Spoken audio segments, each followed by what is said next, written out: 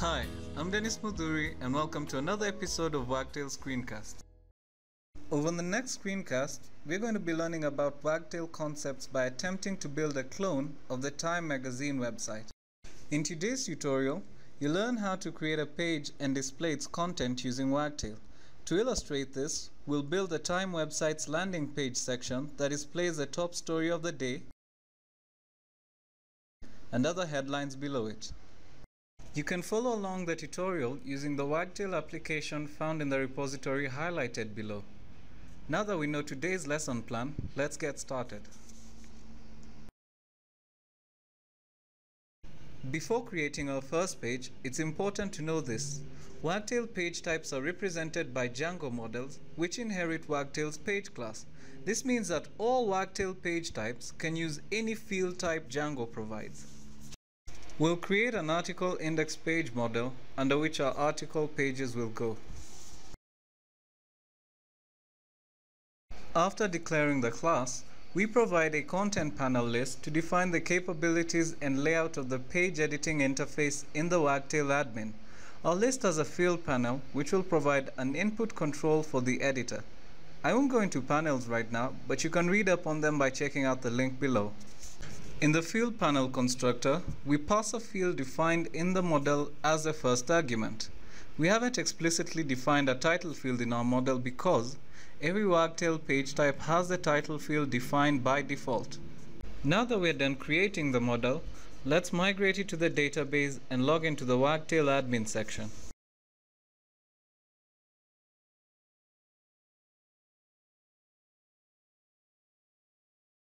In the Wagtail admin section, we'll select the home page and add the article index page as a child page to it.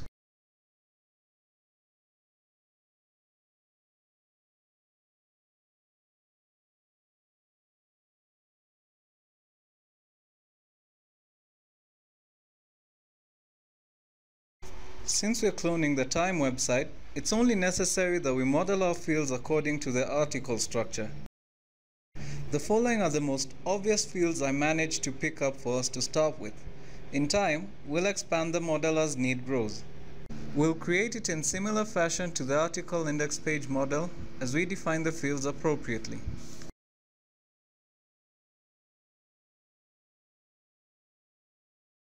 Let's migrate the model into the database and head over to the Wagtail admin section to create our first article.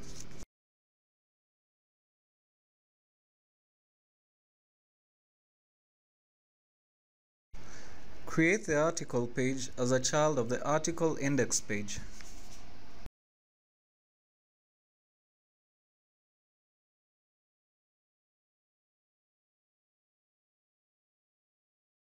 I'll go ahead and create one top story and give it a feature image.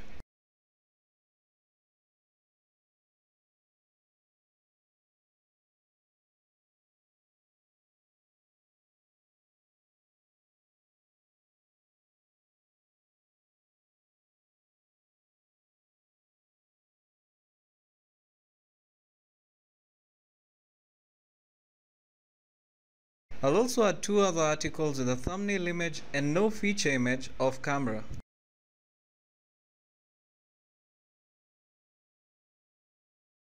When we create a page in Wagtail, it locates the default view template for that model by creating an underscored lowercase version of its name.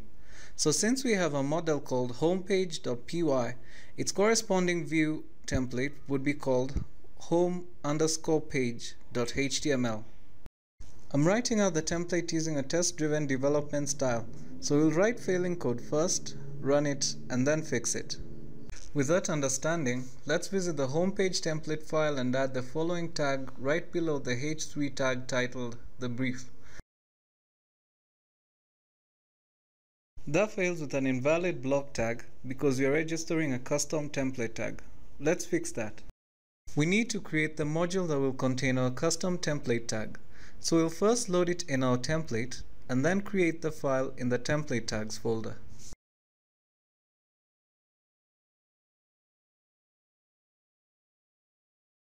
Next we'll write out the standard Django template tag code and create an empty inclusion tag called top stories.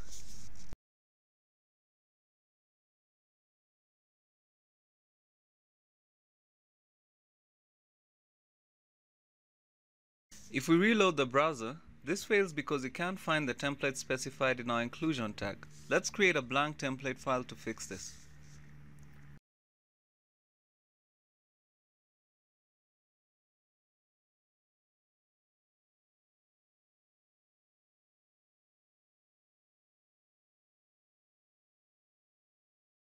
And finally, we have a working custom template tag.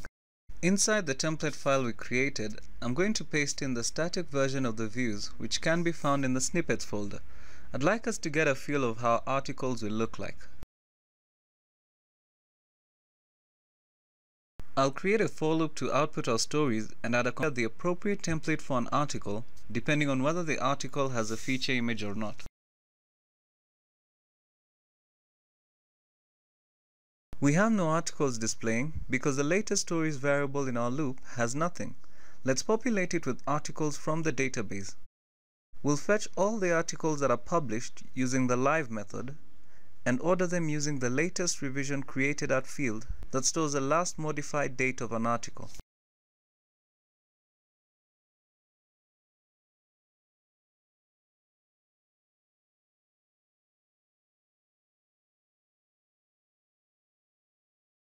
Now that our latest stories variable works, I'll display the top story article from the database. I'll start by replacing the static article URL with one from our article page model. Next, we'll display our feature image using Wagtail's image tags.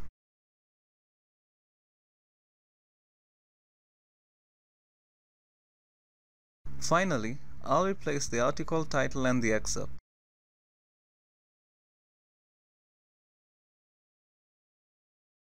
If we reload the page, we should now see our top story article being fetched from the database. I'll stop here and leave the other static template for you to work on. As you'll notice, our articles aren't displaying in the exact order as the Time website, but we'll take care of that next week when we learn about how to use Wagtail snippets. That's all for now. Thanks for watching.